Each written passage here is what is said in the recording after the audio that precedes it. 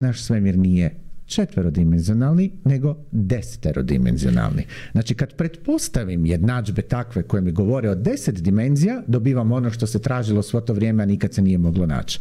Devet prostornih i jedna vremenska dimenzija. Znači, onda čovjek ne može ni da do objasni zakoni univerzuma, samim tim ukoliko ne poznaje i nema dodir ili nema percepciju od tih ostalih šest ili koliko ih ima osam dimenzija? Može, evo, došli Da li smo do imamo? toga. Pa, pa, da li mi imamo percepciju početka vremena?